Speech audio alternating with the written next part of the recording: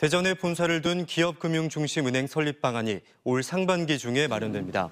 오늘 열린 연구용역 착수 보고회에서 대전시는 은행 설립 전 단계로 연내에 대전 투자청을 설립한 뒤 한국지방행정연구원의 타당성 검증을 받아 500억의 공적 자금 외에 민간 자본을 유치하기로 했습니다.